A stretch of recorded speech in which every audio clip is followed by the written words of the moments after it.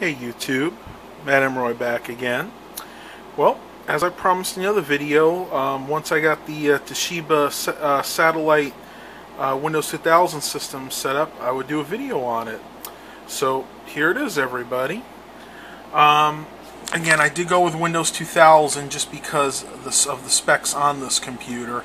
Um, it's a Intel Celeron 1 gigahertz uh, CPU, so it's based on the Pentium 3 uh, 512 megabytes of memory, and a 20 gig hard drive. Um, the main reason for going Windows 2000 is that 20 gig hard drive because Windows XP will take up the better part of that just for the operating system. So what I'm going to do, I'll show you that it is running Windows 2000. There's Service Pack 4. Some information there and it's the x86 uh, number 6 in the family model 8 stepping 10 and there's the actual memory. That's what I like about Windows 2000 it shows the actual memory available to the system which is 507 1,376 uh, kilobytes or 507 megabytes of RAM.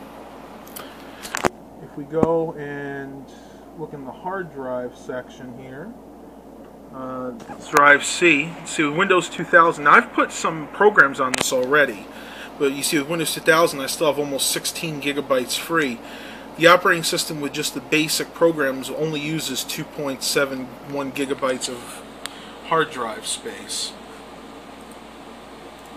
We'll go in and show you. I did get all of the uh, device drivers in here.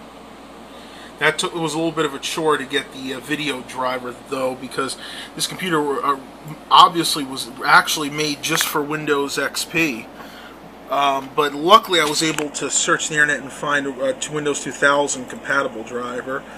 As you can see it is the Trident Video uh, Accelerator Cyberblade XP and then you can read all the numbers over there. I'm sure this is a very uh, unusual graphics card like I said in the previous video, I, I only remember Trident pretty much from DOS era days, maybe Windows 3.1, but once Windows 95 hit, I, I, hardly ever heard of Trident. I, that's when you start getting to the uh, 3DFX, uh, Voodoo cards, and then, you know, NVIDIA started getting on the scene about that time. Um, it is a DVD-ROM that's in here, Toshiba, just regular DVD-ROM, no CD burner. Um, let's see, the network. Um, it's just a uh, Intel Pro 100 Ethernet, no wireless in this. Um, the card bus is, I believe, for a for the um, FireWire port. Yeah, it's got the triple E FireWire port. Not that it would be of any help uh, in this system because I can't imagine doing any kind of video editing on something like this. One of my 20 minute videos would take up basically this whole hard drive.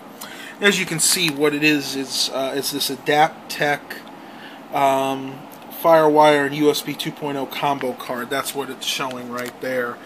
And you definitely need this because the rest is just USB 1.1. It is incredibly slow installing anything with that. Uh, just the basic programs I usually use on here. Um, I did put Opera on here, uh, Fire, uh, Firefox, CC Cleaner, uh, vast Antivirus. That one, just for you guys that are interested in uh, maybe building your own Windows 2000 system, this right here is the latest version of Avast that'll work on Windows 2000.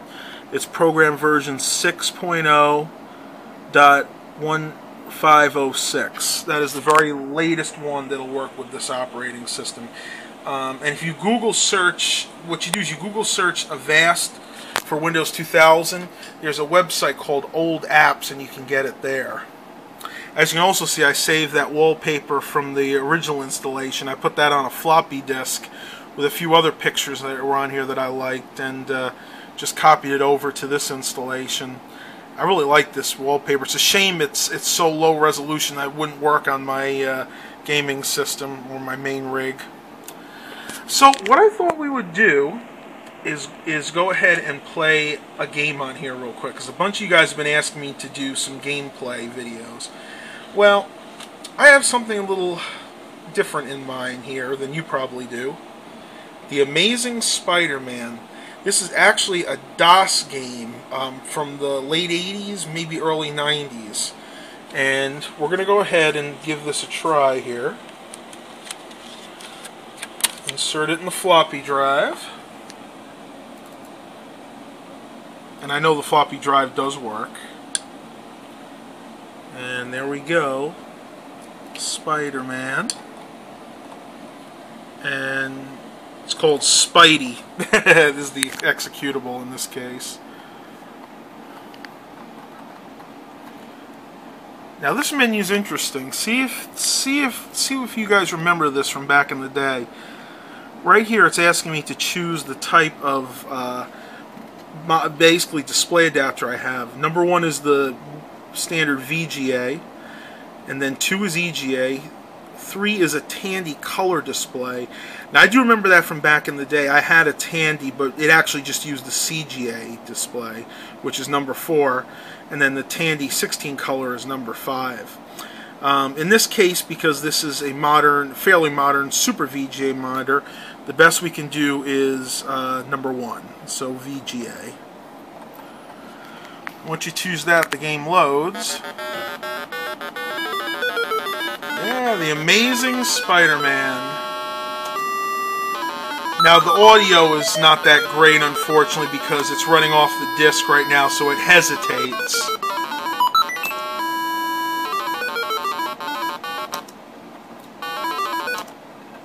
I'm just going to click through that. yeah, graphics are pretty good for a game this old. Okay, so what we're going to do is we're going to play a new game. So I'm going to hit 1. And there you go. Now, it's because of the resolution set um, fairly high on this, the game is not really designed for this particular uh, system, so I, the, the picture's kind of small, so I'm going to kind of zoom in here. I'm going to try to play this a little bit. It's kind of hard to do one-handed.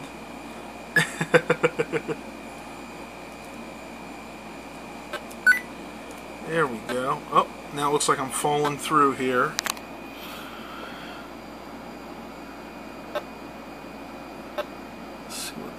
see what to do here. It's really interesting. I, I, I, downloaded this game. This is an abandonware game I got online probably about a year ago and never really played it that much. I don't know if there's any kind of weapons or anything like that. Let's see if there's a help. No help in this.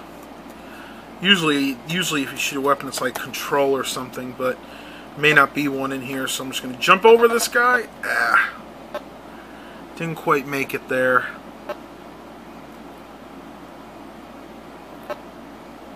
Let's see if we can go through. Oh, looks like we can walk on walls, apparently. Not sure what to do from here. Again, guys, I'm I, am i am a casual gamer, so I'm not really a I'm not really hardcore Okay, I'm assuming what you have to do is probably hang onto the wall and then climb up to this area right here. Let's see what we can do.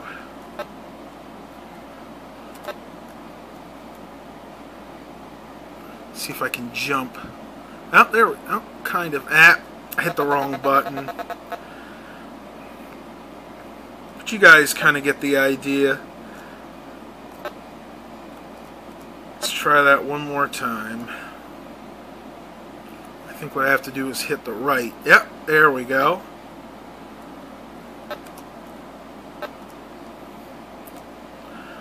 See if we can jump. No, oh, no, probably have to do it from this. There we go. Don't have to sneak there. there's a way we can do that. Alright, so that's just a little gameplay. Um, I can exit out of this for right now. Uh, yes, I want to exit.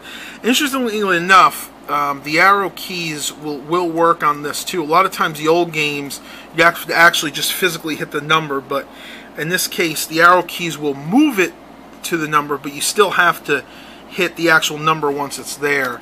Hit enter, it won't do anything. So now that I'm on number 3, I have to hit number 3 they'll ask me, do I want to quit? And yes, I do. Well, anyway, so that's just a quick review um, of the operating system that is definitely going to stay on this computer. I have no plans to put XP on this again whatsoever. Um, I, even though XP could theoretically run it and, and, run on it well, it would definitely need some more memory. Um, the only way this would ever run XP properly, it'll have to bump the RAM up to at least a gig, and then of course replace that 20 gigabyte hard drive. Anyway, so this is doing pretty well. Um, if I make any changes in the future, I'll be sure to uh, do another video on this. Until then, have a blessed day, everybody.